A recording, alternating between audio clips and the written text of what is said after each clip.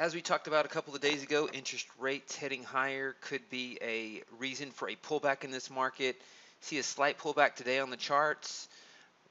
This strategy looks at 52 week highs and lows and takes the difference on those.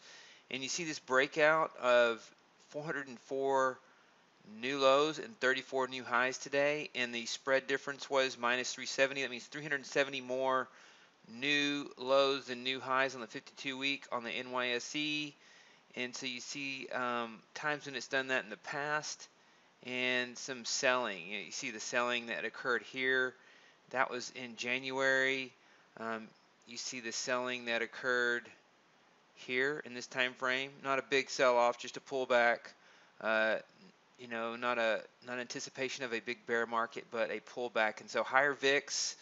Um, our short short-term short trading uh, short trades did well in this time frame when this happened and VIX went up. So this strategy right here, it looks for this. It's only taken, this is just a guideline strategy. We're not trading this strategy. We basically look at the 52-week high and low, and when it breaks below minus 200, we look for short trades.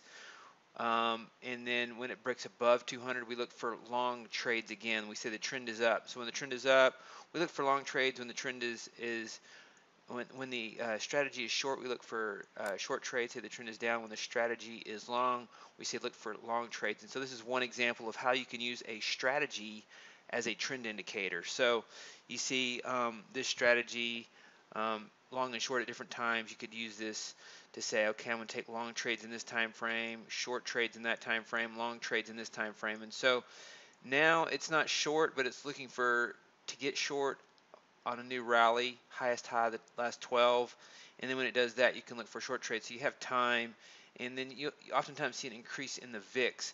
So the reason I tell you that is to um, tell you about Tick Pulse, the original version that we're trading. Um, took these short trades. It's had some success on the short side. Uh, two short trades hitting its profit target, and then another trade hitting its stop loss.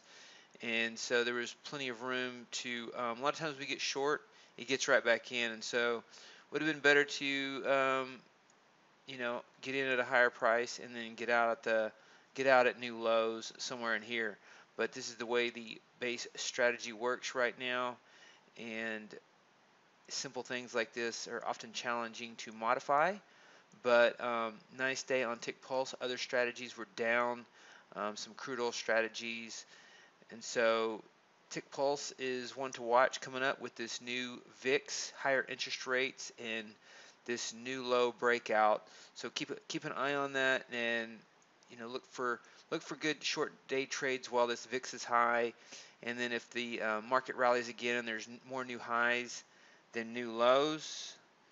Um, if this if this rally, if you see the orange up here, the new high, new highs start to surge again, then can maybe look for the long trades again. But you see that um, it's been down since January when we had sell-off. It has not really recovered to a raging new highs, 52-week new high type of market that we saw all throughout 2017.